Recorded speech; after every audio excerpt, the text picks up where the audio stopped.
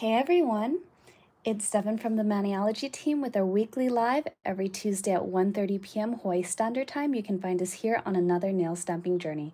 Whether it's a tutorial, technique, or hack, we're here to discuss the details and we're so happy you could join.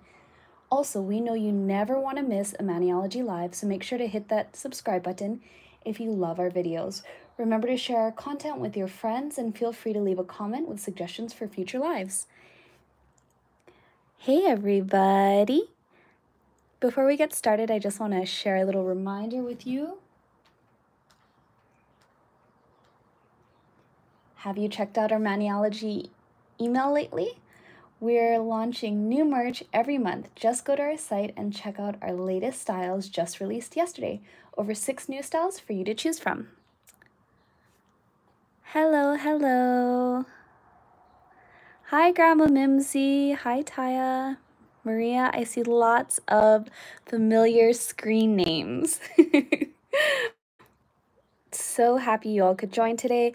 Um, today we're going to be talking about our newest aqua topper. Have you heard about it?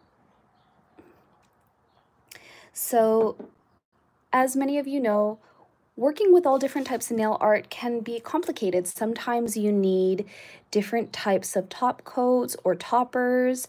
And today I'm to just discuss some of the benefits and how to use it. Um, for those of you who love working with chrome powders or nail foils or even just doing like lead lighting type manicures, it can be really, really difficult to know what products to choose and how to create a beautiful design with without any issues. So I'm going to show you what this looks like. This is when I just applied the smut, um, the speed dry top coat and then, oh, sorry, actually, no, no, I'm wrong. I didn't apply the speed dry top coat. I tried to apply one of our um, sparkly toppers. It's a nail polish collection. Let me see if I have it. It's this color. So I wanted to apply Pina Colada over my stamped design. And this is what happened. Isn't that the worst? You spend all this time doing your nails and then you apply a polish over it because, hey, you feel like I want to add some sparkle or I want to like do a lead lighting manicure. And the next thing you know, you end up with this. This is the absolute worst. Or maybe you were doing some nail foils and then you decided to top coat it with a regular top coat like the speed dry and you ended up with this.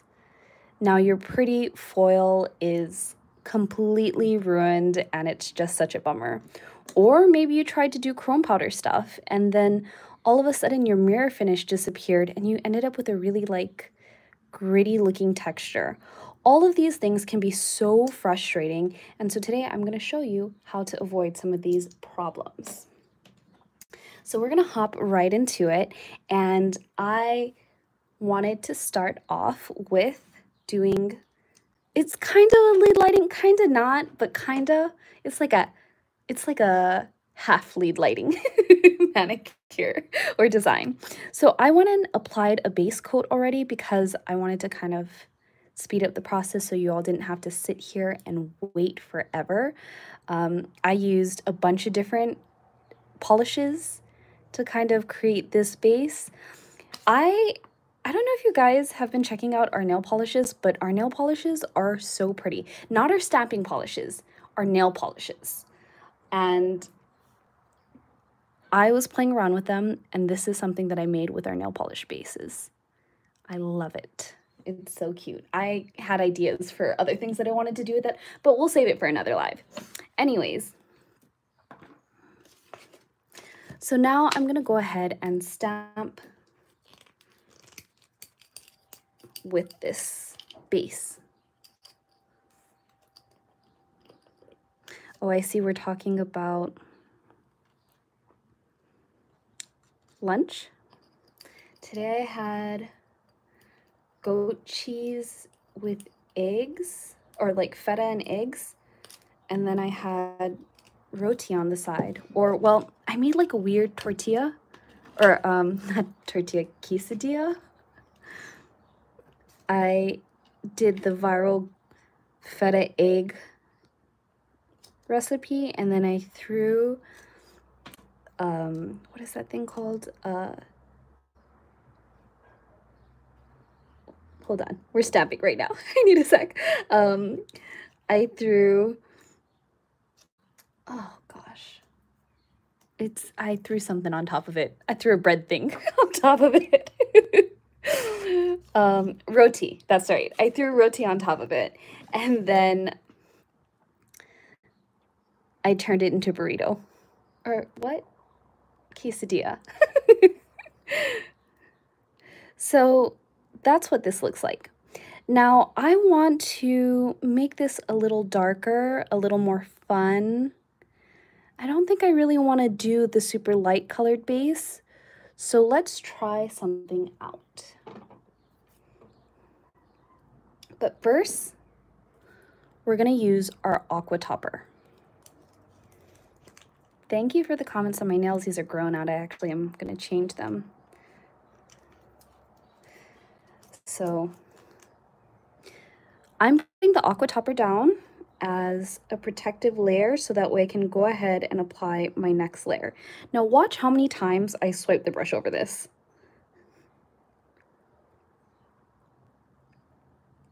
Are we counting? Did we lose count? Because I really went at it with this. And as you can see, she did not smudge at all. It looks great. So for now, we're going to put this on the side because I need this design to dry so that way we can go on and do the next steps, right? The aqua topper is so much fun. So while that dries, we're going to move on to our next design. So I'm going to put a little nail foil glue on. Yeah, the no smudge aspect is crazy with this. So I'm just going to go ahead and apply a little nail foil glue all over this nail tip. And then you're going to want to take a little piece of foil I don't know if you guys have seen, Maniology does sell nail foils. I highly recommend you check it out. There are some really pretty colors. For example, all of the foils in here have like a holographic finish. So the colors are really, really nice. And I went ahead and cut a piece ahead of time. And this one is the pink from that box. Now let's see if this is dry yet. I'm to guess it's not because I waited all of what, like five seconds? But let's try and touch it. Yeah, no way. no way. You're going to know it's dry because when you touch it, it's going to feel really, really sticky. If it only feels slightly sticky, it's not dry yet. It's hard to tell on this um, base, but usually it'll create like a cloudy or blue kind of film when the application is a bit thicker and it's drying. You know that it's completely dry because it'll turn clear and then it'll feel super sticky. But let's see, let's try. Mm, not quite yet. We're almost there, but not exactly. Maybe our other design is dry. Let's see.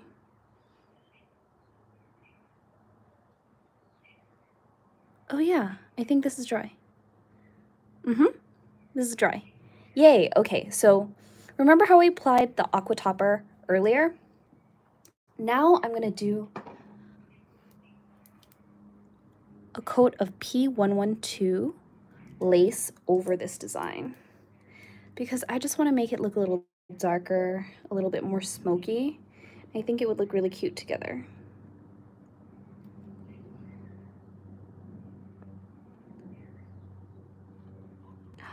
Yes, it looks so good.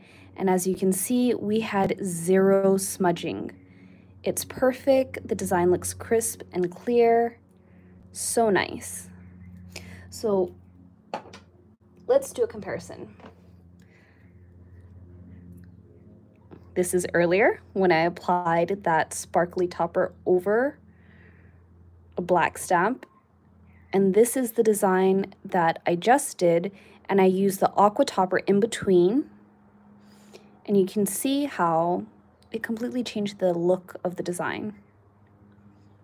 Yes, the aqua topper is super cool. I don't personally recommend replacing it for a top coat. It's not meant to be a replacement for the top coat. It's supposed to kind of work with your other like products. So let me, I kind of switched all my nail tips around. Now I got confused for a second. Okay, let's check this out. Let's see if this is dry.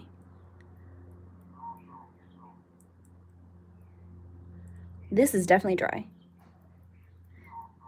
No residue, nice and tacky. So you're gonna go ahead and take your nail foil and apply it over the entire design. If you want, you can even use your stamper to kind of push it down like this. Oh. and then you can just go ahead and keep doing that until you have a nice full cover transfer. That looks pretty good to me. And now we're gonna take our aqua topper and apply it over. So the aqua topper and the smudge free, I wouldn't say they're interchangeable. I would say that this is again supposed to be an in-between. So I would still top coat all of these things, but this is just like a protective barrier. Look at that. Watch this. Just gonna keep going at it in case you're one of those people who just really like to make sure you've gotten every single side of the design covered. And look, it's not changing color. It's not turning milky white. It's not cracking. The design looks so, so good. So if you need a comparison, this is what happened to the other design. Do you see that? And look at how shiny this one is. And you can tell because when you look at the reflection of this, look for the reflection of the light. You're going to notice that you can't find like the actual light. But look at this. You see that like oval shape here of the light? That's because that's my lamp above.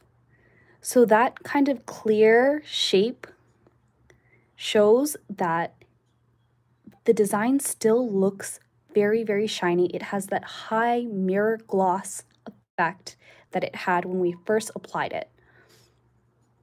You can so clearly see the reflection and the outline of my lamp. Here, you can't see that anymore.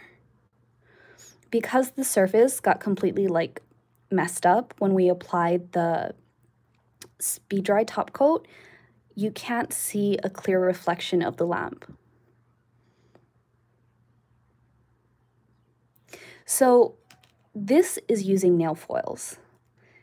If you don't have our nail foil box from Maniology, you need to absolutely pick it up. It has so many pretty holographic colors. It has like all the essential colors you need. Silver, black, gold. It's really, really nice actually. But it's so cool to see the huge difference between these two. So that is our design number two with our aqua topper. I'm gonna put them here so that way you guys can continue to look at it. So let me show you what happens when we use powders.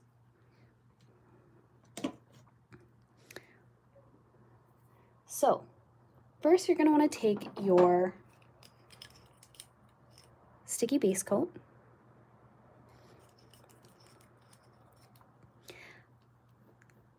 and then you're going to want to go ahead and apply a coat over either black base or colored base. I am using one of our polishes for this really, really nice base. I wouldn't recommend using gel over the aqua topper. So the reason why I'm not going to recommend using gel over nail polish is because Nail polish is not flexible. It's very brittle. That's why it has a tendency to chip after, you know, a week or a couple of days because it doesn't have things in there to basically make it more flexible and gel has a different type of flexibility.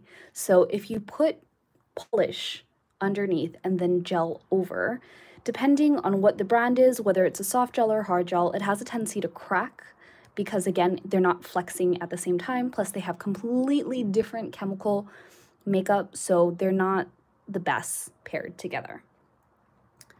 But gel and acrylic work a lot more like, uh, sorry, gel over acrylic work a lot better.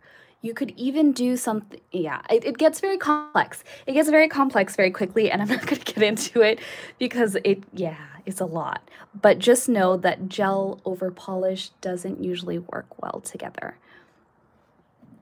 So now we're just kind of waiting to see if this is dry.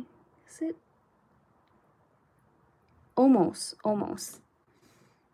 And then I went ahead and already applied powder to a very loved, very used stamper. If you ever have a stamper head that gets nicks in it like this, don't throw it away. You can just use it for powders and chrome application. That's what I do. Um, I'm going to show you guys how to top coat this after it's all done.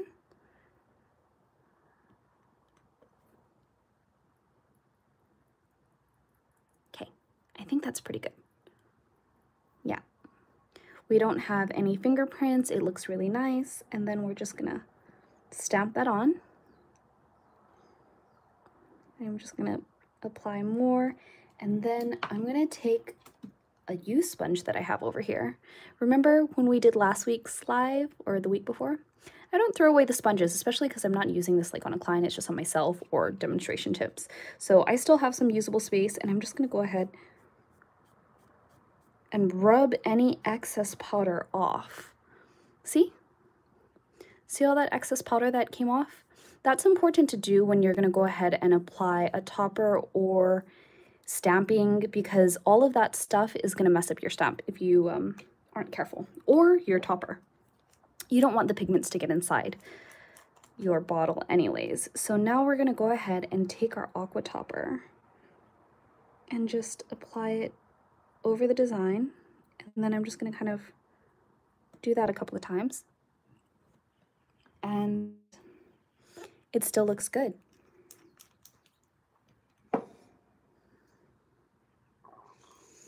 So let me show you the difference. Okay. Do you see how grainy the one is on the left? This is using the speed dry, this is using the aqua topper. Can you tell the difference? Because I sure can. Might be kind of hard on camera. Oh, no, no. I don't think so. Okay, so I angled them both the same. Now, if you look at the one on the left, you can see it looks really, really gritty compared to the design on the right. You see that? Do you see how the left looks extremely gritty? and then the right is nice and smooth. I'm so happy you all can see the difference. Very good. Oh, oh, oh. So let me do a little comparison with our designs from earlier. Okay. It's a pretty big difference, right? And the cool thing about the Aqua Topper is unlike the Smudge Free, the Smudge Free has a tendency to go cloudy before it dries. You have to wait until it completely dries to see it turn clear again. With the Aqua Topper, you don't have that problem. When it dries and when you apply it, it looks exactly the same as when you didn't apply it. So it's perfect. So this is our designs from earlier. These are the designs that were using a speed dry top coat and or like a polish over because this is kind of like, I don't know, lead lighting isn't the right word, but I wanted to top this design and give it like some kind of sparkle. And you can see how smudged it got. And then this is with our aqua topper. All of our designs look very clear, Very shiny, very pretty. I can still see the perfect reflection of that lamp right in there. And then this doesn't look gritty at all. So good. Now, let me show you what type of top coat you're going to want to use over these designs because I saw some of you asking. So I would go ahead and go in with a speed dry. You can use whatever top coat you want. Um, I love the speed dry just because I like how glossy and shiny it is. But if you're looking to do a matte top coat or if you want to go back with, I wouldn't really recommend this smudge free because at this point you don't need it anymore. Unless you decide to like stamp over this and then you want to do, um, oh, all right, let's just do it anyways. We've got some time, what the heck. so I'm going to go ahead and stamp a design over this. Let me grab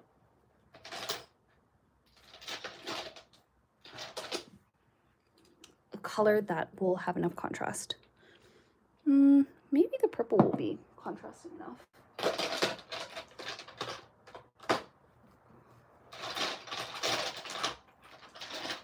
Yeah, we'll just do the purple. I think that will be contrasting enough. And now we're gonna go ahead and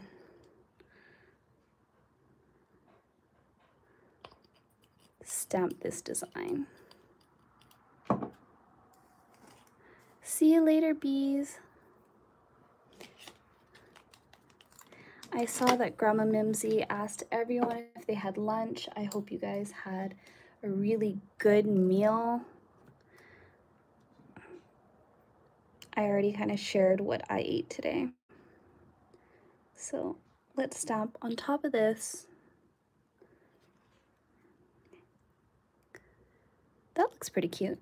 And then we're gonna do another stamp on top of this. Um, hmm. I think I'm gonna go for the moon phases. Or, actually I wanna do this design again. I wanna do a full nail design because I think it's easier to really see how everything works well together.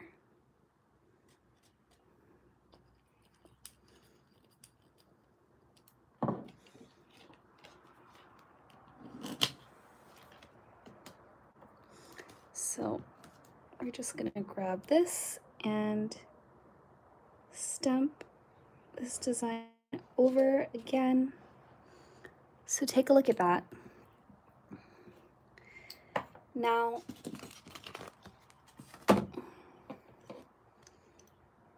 let's apply our aqua topper again. so if you wanted, you could just keep going with all the layers and just keep adding and adding and adding. So let's say I wanted to apply the aqua topper. I wanted to do a chrome base stamp and then I don't know, maybe I want to add some sparkles. Why don't we add sparkles after this?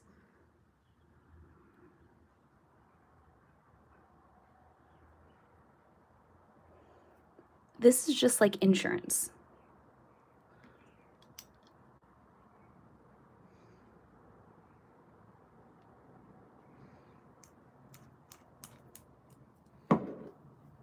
So for those of you who are like, I can't remember what my foils do under the smudge free, I'll tell you what happens.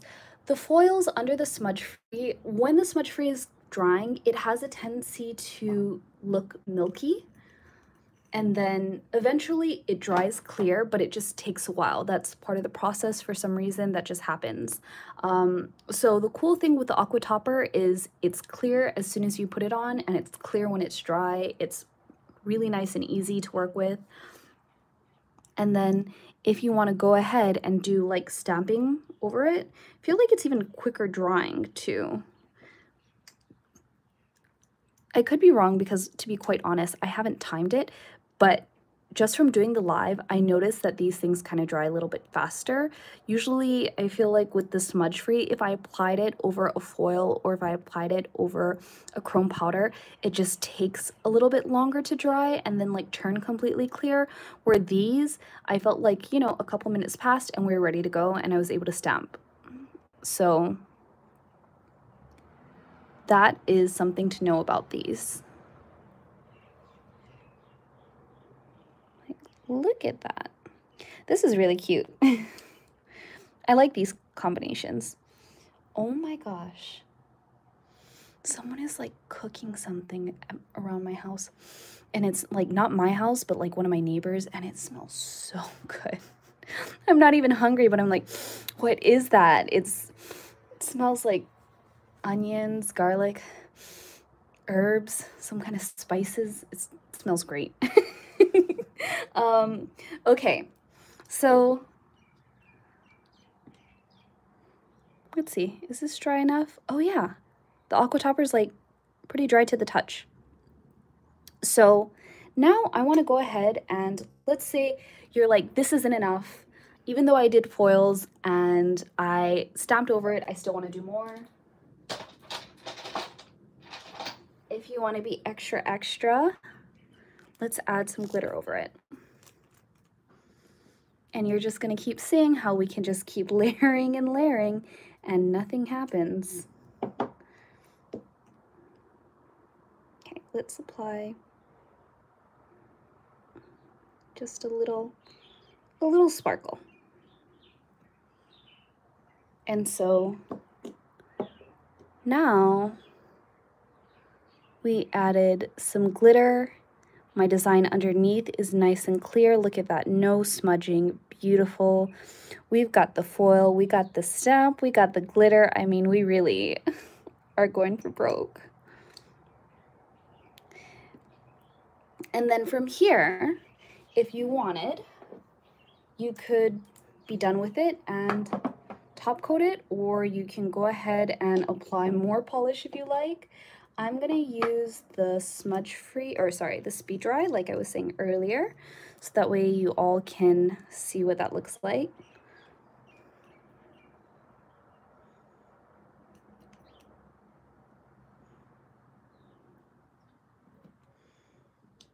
Oh, something interesting is happening. The speed dry is reacting with the aqua topper but I can also see it changing in real time. So I applied the speed dry over the aqua topper. It's now turning a little milky, but it's going to dry clear. And I can tell because I can already see it drying clear right here. Can you see it? So you see how it's a little milky, but then right in the center where the polish started to dry, it's turning clear. Yes, this is very experimental. we are getting funky together. So I applied that sparkly topper. And now I'm going to go ahead and let's try apply the smudge free and see what happens. I have some smudge free right next to me. So remember, the combination for this one was foil, aqua topper, stamp, aqua topper, and then we applied a glitter polish over. And now we're gonna go ahead and apply the smudge free over and see what happens. Is it going to get milky or is it gonna stay clear? We will find out right now. So I love that we're just doing real-time experiments together because there's only one way to learn.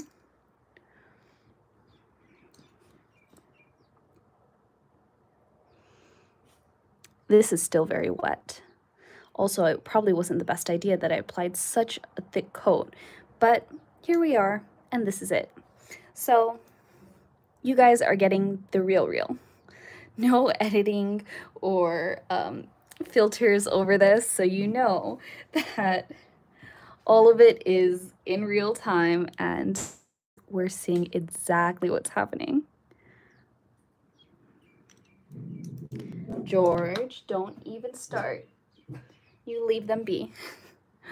So with this design, let's see, I applied a polish over it.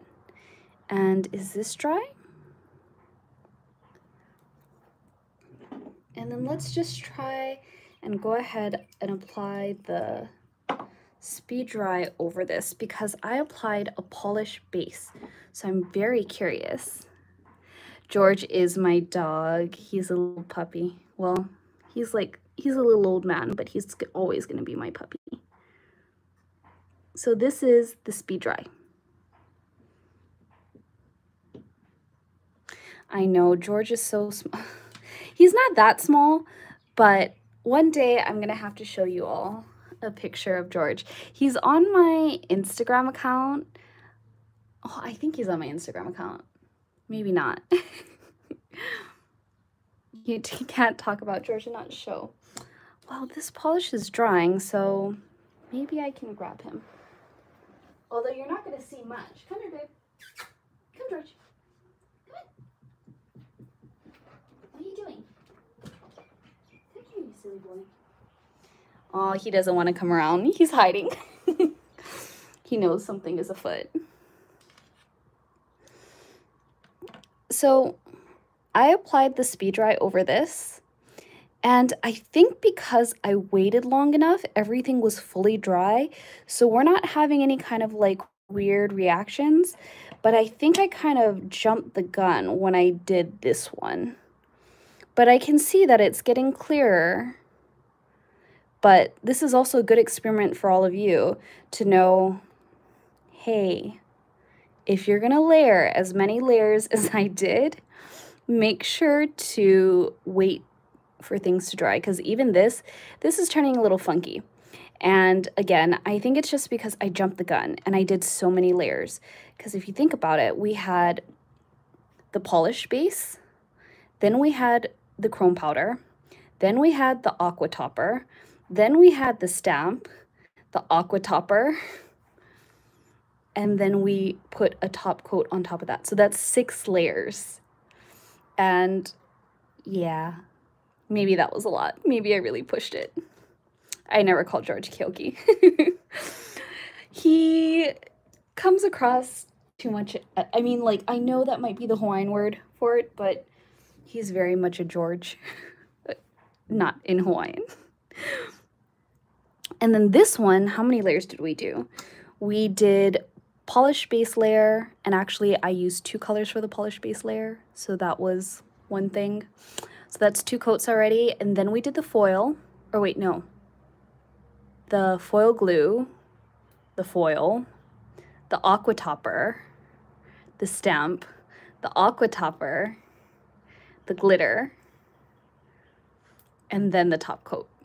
So we did nine layers. what can I say? I was very ambitious. So if you're going to do this stuff and you're going to get nuts with the layering like how I did, I highly, highly recommend you try to wait between layers so that way you know for certain they're dry. Because this one, I waited between the layers, this is nice. This is perfect. It's beautiful no problems.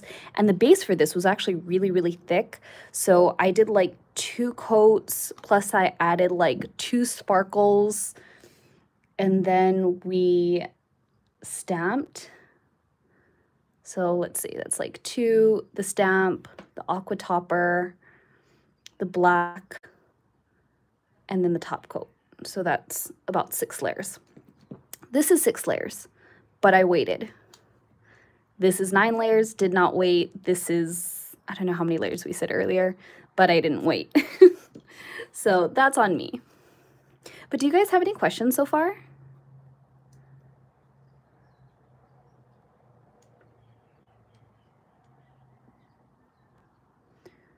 Would putting it under a lamp help the dry time? Unfortunately, no. Well, no, it won't. Because polish doesn't dry by light, so maybe putting it by a fan would help dry it a little quicker. Um, if you were using gel and then you used a gel lamp, that would definitely work. But yeah, I think the only way to speed it up was probably using a fan. Yeah. Yep. Everyone agrees. Fan it is. Oh, but look. This is drying. So you can see it will kind of get a little hazy and then it'll clear up. Now, this happens, did we use the smudge free on this one? Or did we use the speed dry? I can't remember now.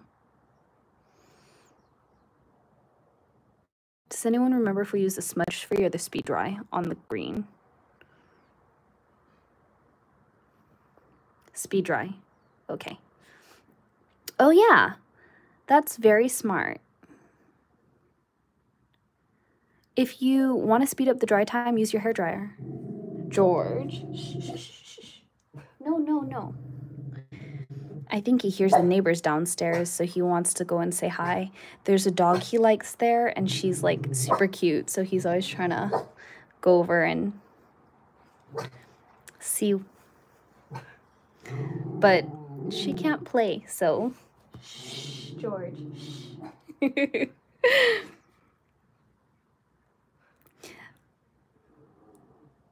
hair dryer on cool. Oh, you guys are all right. The hair dryer is the best way to go. Okay, well, I haven't seen too many questions about the aqua topper. It seems like all of you kind of understand how it works. And yeah, I'm happy I was able to do some experiments with you. Some worked better than others, but we still got to play together. And that's always the fun part. So if you're curious about the aqua topper, I highly, highly recommend you get it. Does Smudge Free really smudge Smudge free doesn't smudge stamping. However, sometimes when we stamp, there's extra bits of polish that is transferred on the stamp that is loose. And if you take a smudge free and you wipe it over that, the polish gets trapped in the bristles. When that happens, the next time you go ahead and wipe, or like when you go ahead and apply the smudge free over a stamp design, those polish bits that got stuck in your bristles are going to end up transferring onto your other manicure. So we always recommend that people wipe the brush off, especially if they're using black stamping polish. Um, make sure you just kind of wipe the brush. Now with the Aqua Topper, I have a feeling that's not gonna happen because the formula is different.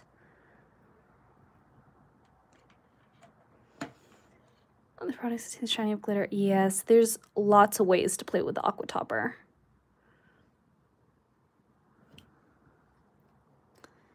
Yeah, this is, it is going. It is going, but it's just taking a little bit of time. So again, make sure your bases are completely dry before you start applying things because I just went a little too heavy and too fast. the reason, okay, so for some of you who are like, why aren't you saying that this is just like a new and improved smudge-free top? Because the smudge-free top coat is a top coat. This is not a top coat. This is like an in-between coat. This is like a slip that you wear underneath a dress or a skirt or whatever. Um, that's part of the reason why I don't want to say it's a complete replacement, I would want to say it's an addition to your collection. Um, yeah, you could still use the smudge free if you want as well. Um, it just depends on how you are planning to use the products and what design you want to create.